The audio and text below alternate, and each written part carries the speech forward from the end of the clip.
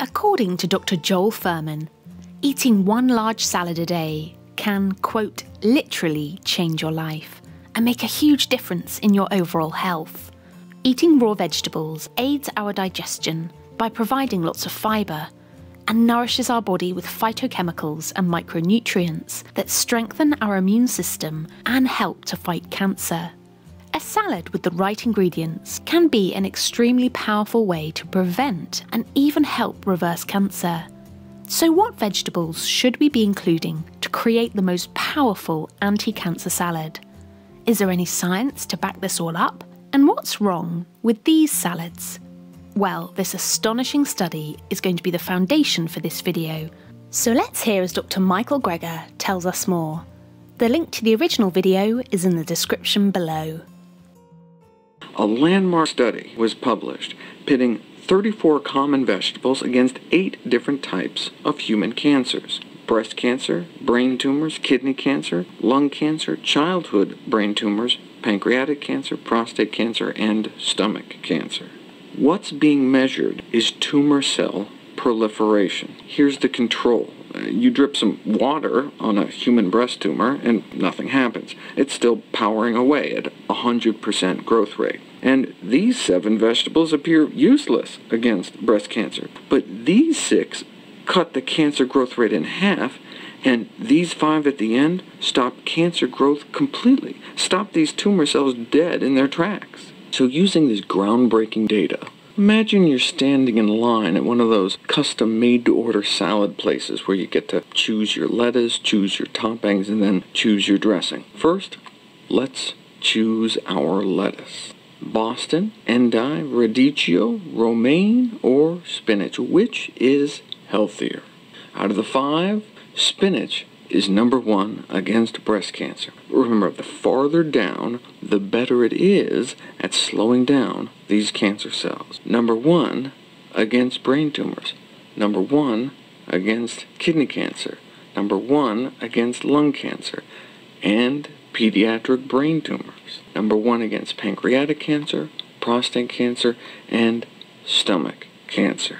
Now, it's not number one overall. There are 16 vegetables more powerful at stopping stomach cancer growth than spinach, but out of those five salad greens, spinach wins out across the board against every cancer type tested. Yes or no?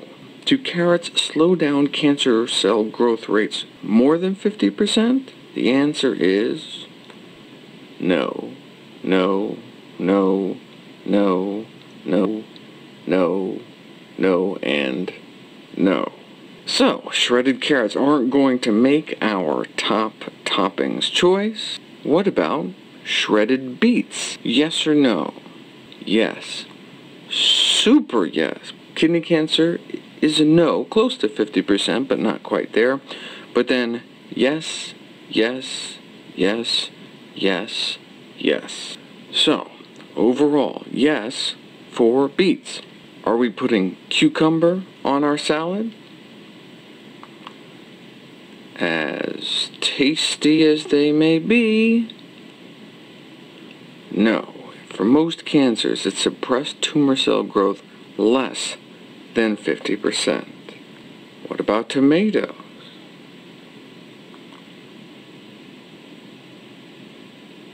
No tomatoes either. One of the most important findings of the year. Which vegetable was it? Number one against breast cancer, garlic. Number one against brain tumors, garlic.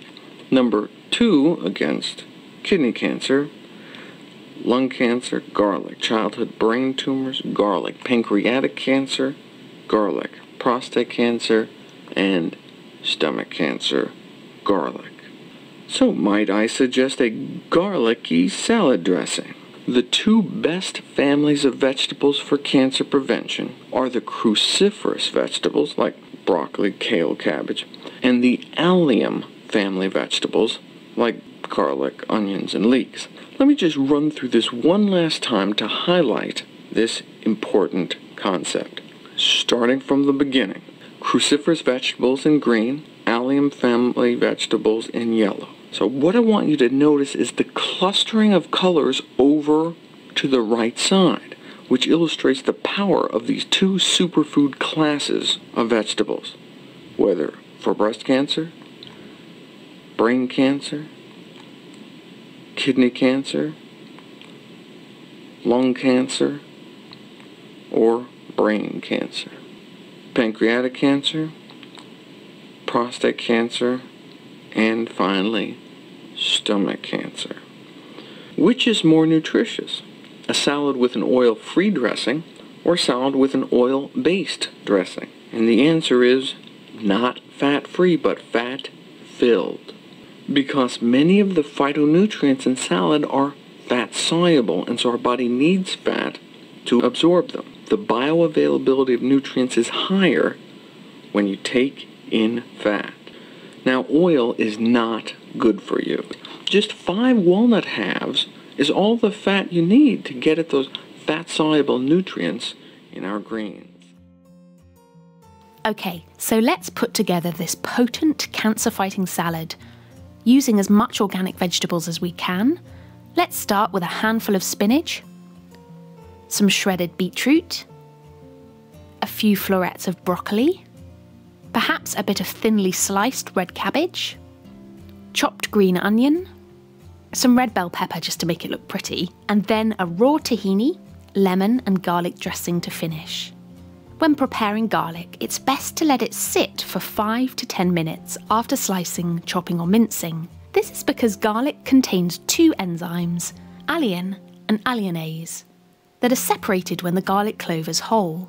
When the cells are ruptured through chopping, these two enzymes interact to form a new compound called allicin, which has cardiovascular, antibacterial, and anti cancer benefits. Some garlicky dressing recipe ideas are in the description below. To boost this anti cancer salad further, you could add some oregano and a pinch of cayenne pepper.